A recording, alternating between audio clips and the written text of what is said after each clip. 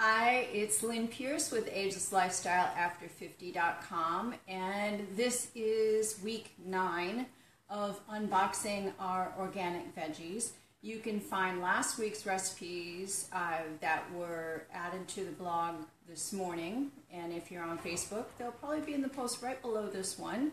Uh, and that's at agelesslifestyleafter50.com forward slash vegan 8. So let's see what we have today. Box is a little light today. Um, let's see. We've got three tomatoes, which is always good. I go through so many tomatoes, so I always appreciate that. And we've talked about the nutritional benefits of tomatoes before, so I won't go through that. The same with the onions. These are looking more and more like regular red onions all the time. Uh, the red onions I dice up and use raw rather than cooking with those. Um, well, we've got two baby zucchinis, and it wasn't until yesterday when I went to um, do finish up my recipes for this week that I realized that last week's uh, yellow and green zucchini and my little baby butternut squash are still in the refrigerator. They're in the veggie drawer. I forgot all about them. So we went through that nutritional stuff too. The same with uh, the eggplants.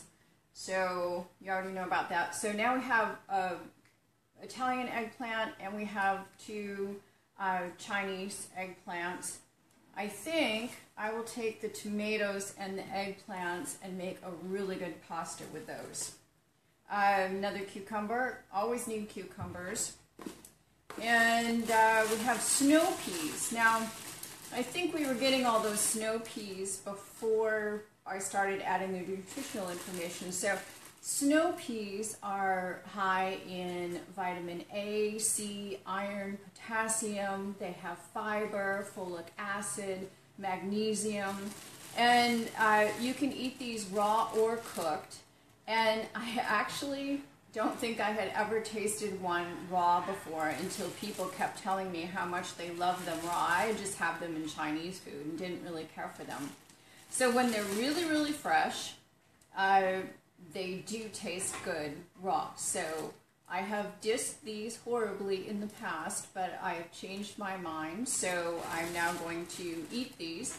And the other thing is, you can open them up, and you can also uh, eat the peas that are inside, just raw if you don't like the pod, or you can use now, the other thing about these is that they're good for weight loss, they're good for cancer prevention, they support heart health, stronger bones, raise your immunity levels, lower inflammation. As we all know, inflammation is the cause of pretty much every disease, so that's a good thing. We have uh, this little baby romaine here. We haven't talked about romaine before. We've been getting a lot of spring greens. So romaine is high in minerals like calcium. It's packed with C and vitamin K and folate. And that supports your immune system, uh, healthy bones, healthy teeth, blood clotting, cell growth. So that's good too. Wow. Oh, we've got some other stuff in here.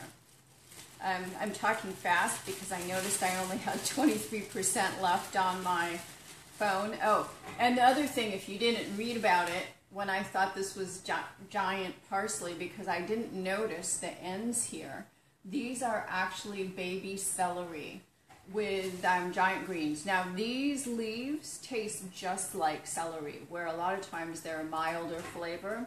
Uh, so you can put these in soup, you can